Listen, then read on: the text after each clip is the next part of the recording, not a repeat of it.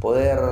aprovechar la experiencia y la vasta trayectoria de, de Omar para brindar esta capacitación tan importante para tantos chicos que en toda la provincia llevan adelante la práctica del deporte como es el boxeo, me parece que es una medida más que saludable y fundamentalmente, como bien decía Walter recién, pensada para favorecer a los chicos que, que realizan boxeo, que no solo se capaciten, sino que aprendan a cómo cuidarse, a perfeccionarse y que si bien durante mucho tiempo ha habido gente muy entusiasta y con determinados conocimientos eh, enseñando boxeo,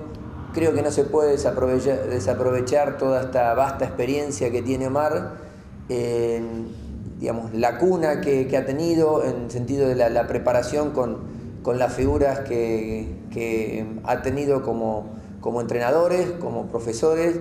y que en definitiva eh, le han permitido consolidar esa, esa base tan fuerte que le ha permitido tener todos los logros que ha tenido.